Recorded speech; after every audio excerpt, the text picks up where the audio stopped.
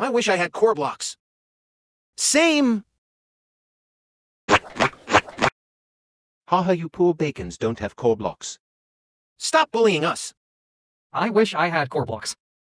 Don't worry, guys, this new free Korblox hack lets you have Korblox for free or cheap. What really? Yes. Just watch the video. So first you want to search up the character shard. Scroll down until you find it. It's this one here. It used to be free, but now it costs Robux, so if you owned it before it started costing Robux, you don't have to buy it.